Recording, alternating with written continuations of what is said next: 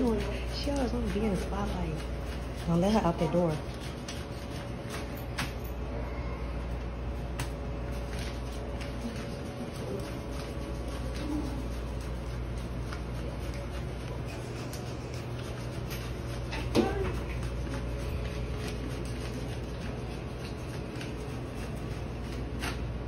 Little ass Yo, yo, yo, it's Big Ant Man. We back.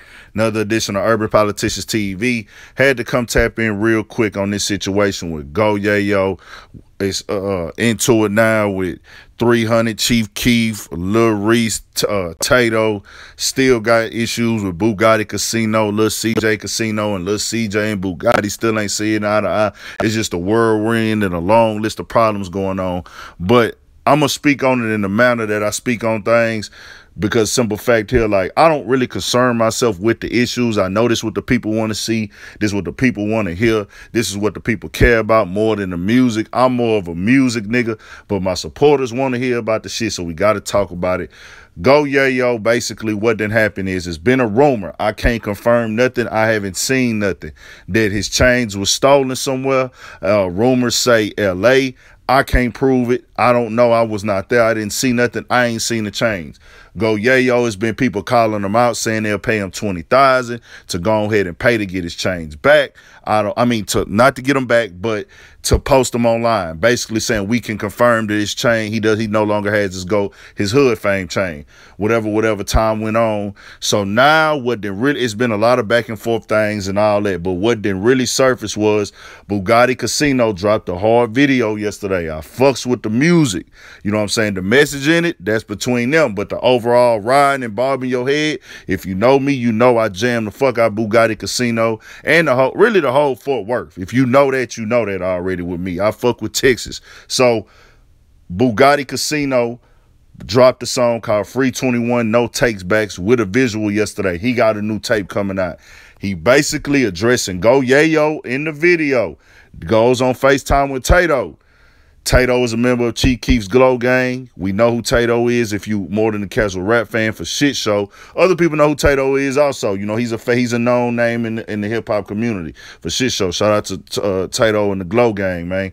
But basically, he FaceTimes Tadoe in the video and on the internet, the rumor that everybody saw was allegedly, this is alleged, I don't know what, Tadoe was around some people that might have done something with Yayo chain. We never heard nobody out of the camp say they took Yayo chain. We never heard nobody out of the clique, out of Chief Keef and them cliques. So that's just the internet sparking a rumor. I don't know what.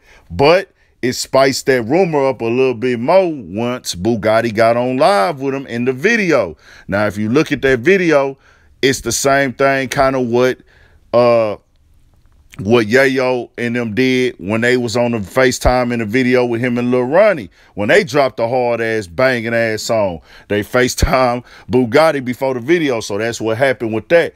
Now look, I'll tell you like this. This is the thing with this street shit, bro. It ain't no rules in this shit. I don't like the shit, but that's what it is. I know the streets don't have rules. I always tell niggas, go listen to Babyface Ray Ashanti. When you out here playing in the streets, turn the rules off. Niggas is not gonna play fair.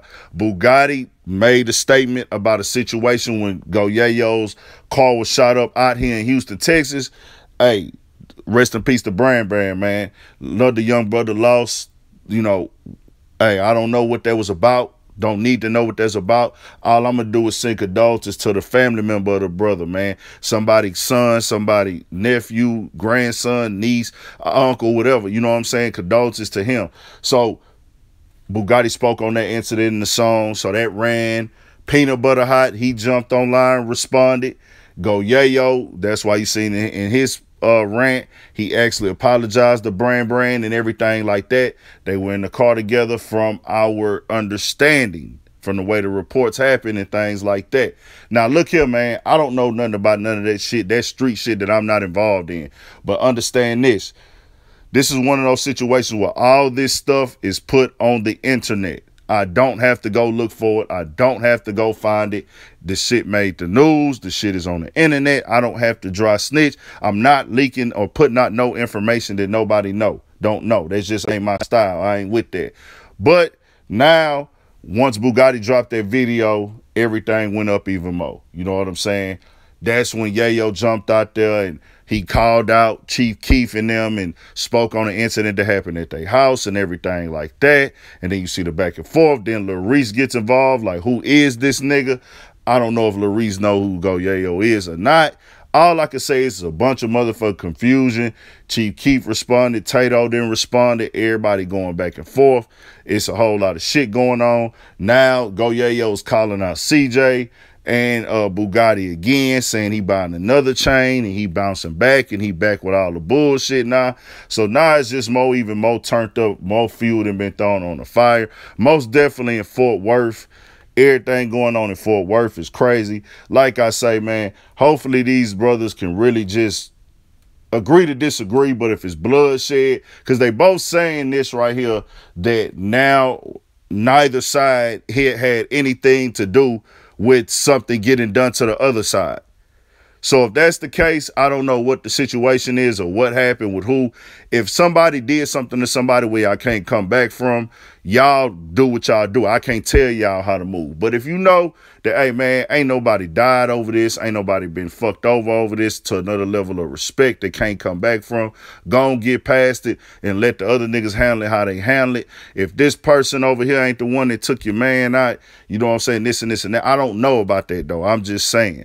So it is what it is, man. It's turned up. My supporters, y'all got to understand, bro. When y'all come and ask me to talk about shit like this, I'm not picking a side. I'm not here to go in on this nigga, a clown somebody from getting robbed for their chain. Anybody can get robbed for their chain, my nigga. Anybody. Anybody. Unless you finna walk around with 20 and 30 niggas every day, you got a possibility of getting robbed. But I'm to tell you how the game, the streets play tricks on you. You go get security, right? And you get you you you walk around niggas, oh, that bitch ass nigga got security with him. He ain't solid. He ain't real. But then you move without security, guess what? Hey man, that bitch ass nigga should have had security on him. That's why he got took down, nigga. Da da da da. Anybody can get robbed. Getting robbed does not make you a hoe ass nigga, in my opinion. This is me.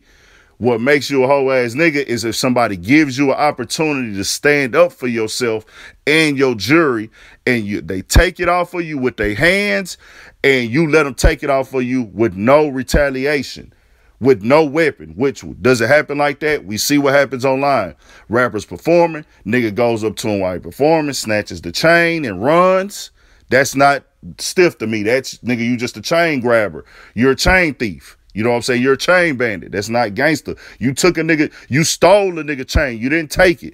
Take it means, hey, I see you face to face. You know we at odds. I'm to walk up to you in your face, snatch your chain off your neck, and give you opportunity to do something. you don't do it, that makes you a hoe. If a nigga put a pistol on you, I think niggas know what you do when somebody put a pistol on you and tell you give it up. That's what happens. You know what I'm saying? You got caught slipping. Anybody can get caught slipping. Some of these biggest gangsters y'all glorify in the real world, your bob, but they all been caught, caught slipping before. It is what it is. Subscribe to the channel, Urban Politicians TV, man. 1000.